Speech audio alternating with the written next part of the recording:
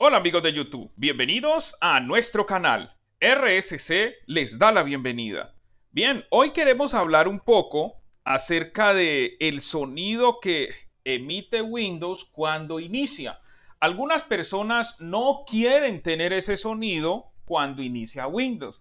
Otros quieren activar ese sonido cuando inicia Windows, como cuando prendíamos Windows XP o Windows 7, que por defecto lo traía.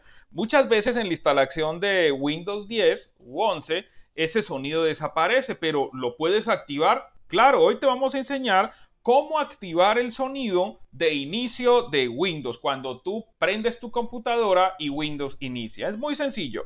Vas a ir aquí al parlantico que te aparece en la barra de tareas le vas a dar clic derecho y vas a ir a abrir configuración de sonido.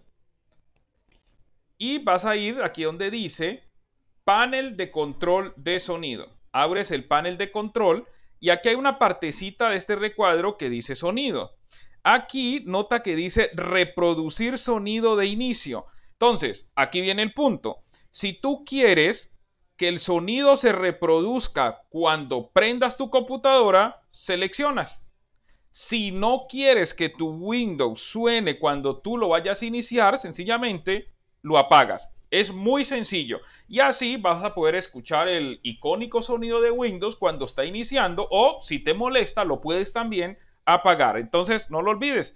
Ahí está prendido y apagado. Es una forma muy sencilla con la configuración de sonido. No lo olvides, RSC te ayuda para que lo hagas tú mismo en casa. No olvides suscribirte a nuestro canal, dar manito arriba y compartir este video con amigos y familiares. RSC